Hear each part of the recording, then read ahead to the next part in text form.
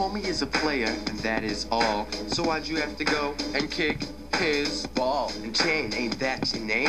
Cause you a player hater, and that's a shame. And chicks like you ain't worth too much. So shut up, girl, and make my lunch. Yeah.